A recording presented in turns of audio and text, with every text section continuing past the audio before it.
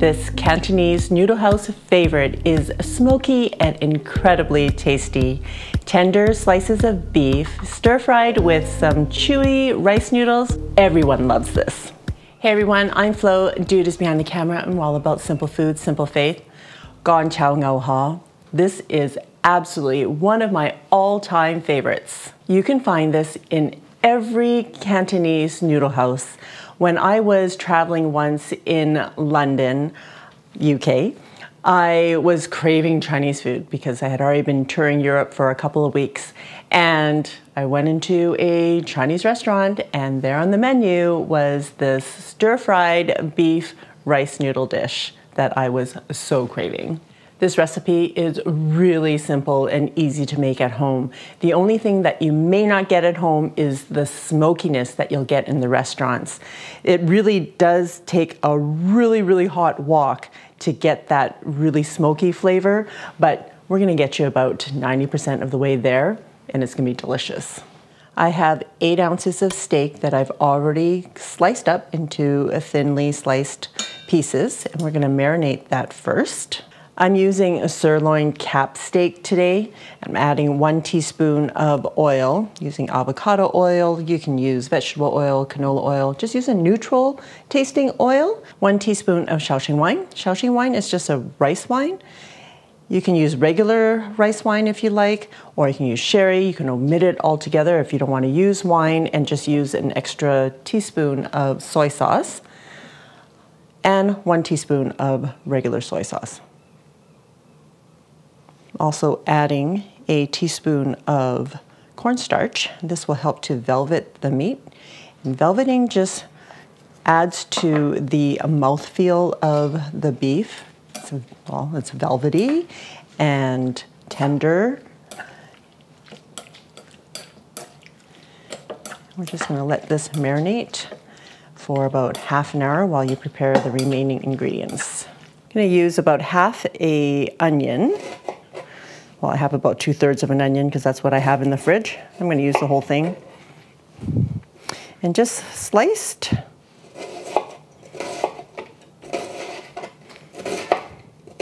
I like to slice it from top to bottom. So I find that it holds its shape better. I'm just going to set this aside. I'm using one green onion as well. Just cut off the ends. You know, I've been planting these in the garden and I've been able to use a whole lot of green onions that I didn't have to buy this summer, which has been really nice. Um, I'm going to add this to the white onion that I'm going to cook. And then the rest I'm just going to cut into two inch pieces.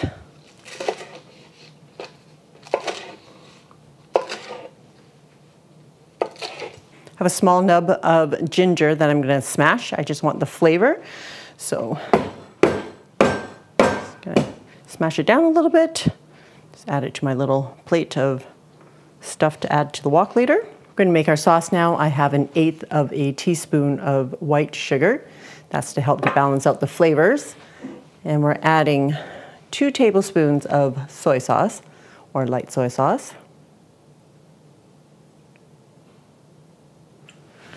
One tablespoon of dark soy sauce. And one tablespoon of Shaoxing wine.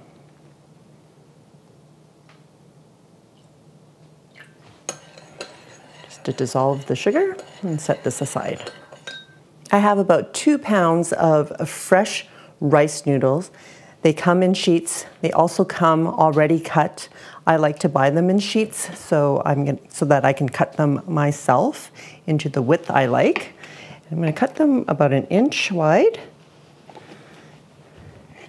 we're really lucky to have this woman that makes these fresh every single day. But you can find these in the refrigerated section of your Asian supermarket. And if you can't find them fresh, you can always rehydrate the dried. And these are rice noodles. It's also called hofan. Once you've sliced them, you do have to separate them a little bit. You don't have to separate every single layer, but separate them about every three to four layers. Otherwise, it's hard to separate when you're cooking. Uh, please excuse our wild animals. we do live in a zoo. If you're buying the refrigerated ones, often they may be kind of hard, so you will have to warm them up before you use them, either in the microwave or uh, blanch them in a pot of boiling water, but just for a couple of seconds. It doesn't take long. I wish I could say I can't be bothered and skip this part, but this part is really important. Otherwise, you're gonna get this giant clump of noodles that you can't stir fry and it will just be disastrous. Don't do that. And also about four ounces of bean sprouts. All right, turning on my wok, medium high. If you don't have a wok, you can use a very large frying pan.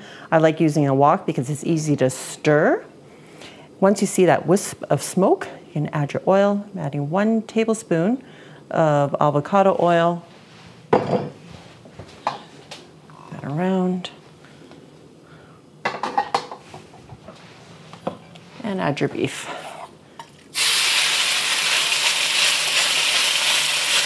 I'm gonna let it sear for about a minute.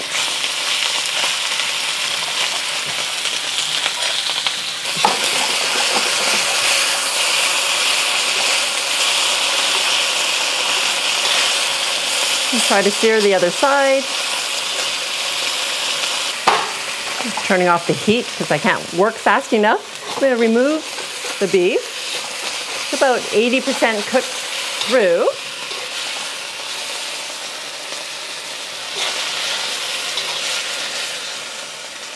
Turning my wok back on to medium. Adding two tablespoons of oil adding my ginger. I want to infuse the oil with the ginger flavor.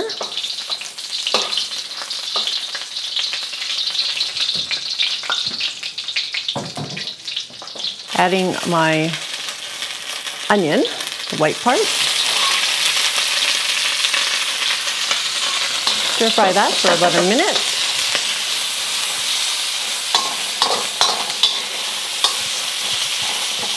I'm going to remove that ginger. Push the onion off to the side a little bit. And we're going to add our noodles.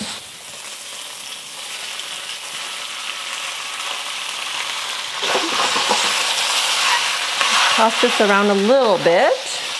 So this is where the wok hei would come in really handy.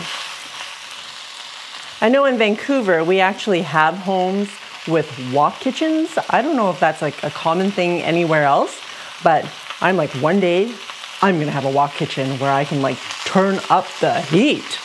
Okay, adding the sauce. Now the dark soy sauce will give it the brown color, the deeper brown color that you see. Regular soy sauce just doesn't give you that dark of a color. And I think depending on your brand of soy sauce as well, it could be even darker than this. it just depends. You stir fry until the noodles are heated through. And if you're using enough oil and a, a good seasoned wok, the noodles shouldn't stick to the bottom. Adding the bean sprouts and the beef back in along with any of the drippings. Put it all together.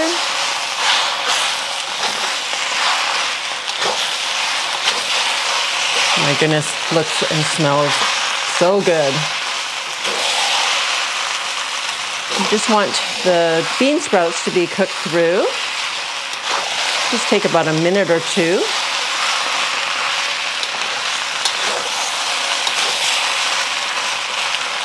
Turning off the heat, adding the green onions. Give another stir.